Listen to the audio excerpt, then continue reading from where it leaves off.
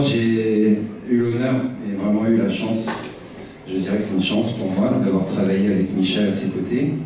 Euh, ça a été un grand défi, pourquoi? Parce qu'en 12 ans de carrière, en tant qu'acteur en dramatique, le thriller, le policier, l'action, euh, la comédie a été vraiment quelque chose de nouveau. Et Michel m'a mis à l'aise énormément là-dessus. Magnifique, on se connaissait déjà un peu parce qu'il avait tourné dans une productions. Et le côté comédie, c'était quelque chose que j'ai et qui m'a énormément plu. Je ne me sentais pas capable de pouvoir le faire. Antoine Bastien m'a beaucoup rassuré. Et Michel, je le remercie du fond du cœur parce que c'est pas évident peut-être de travailler avec des gens qui ne sont pas comédiens dans l'humoristique.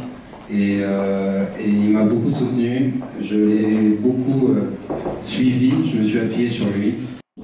Oui, effectivement, euh, la comédie c'est quelque chose qui n'est pas simple. Arriver à faire rire quelqu'un, c'est pas évident. Arriver à raconter une blague pour que les gens rigolent, ça ne marche pas tout le temps. Donc euh, je pense pas qu'il y ait euh, forcément un atout ou physique ou autre. C'est ce qu'on dégage et l'humour qu'on a envie de faire passer, c'est un vrai travail. Je me suis rendu compte que c'est un vrai boulot. Michel m'a dit un jour, sur le premier jour de tournage, Antoine ne rigolait pas encore sur nos répliques. Et Antoine m'a dit Tant que je ne ris pas, ça ne fonctionne pas. J'ai dit Ok, moi je suis dans pain, même si on m'a pris pour un blanc. Mais pas pour moi. Michel m'a dit Ne t'inquiète pas. Il m'a dit Tu me vois comme je suis Moi, je suis petit, toi tu es grand. Il dit Moi je suis vieux, t'es jeune. Il dit Le ridicule ne tue pas. Moi, c'est ce qui fait ma force. Donc, fais-en une force. Rends-toi ridicule. Les gens vont rire.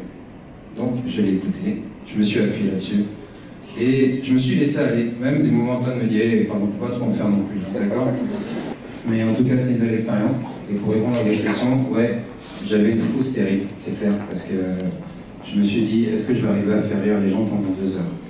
Et ça, c'était un défi. Voilà. Mais grâce à Michel, il m'a dit rends-toi ridicule. Il m'a dit oublie le physique, oublie le, ton jeu d'acteur studio, oublie tout. Il m'a dit rends-toi ridicule. Le ridicule ne tue pas. Et honnêtement, je tiens à le remercier énormément et que Dieu lui rende grâce.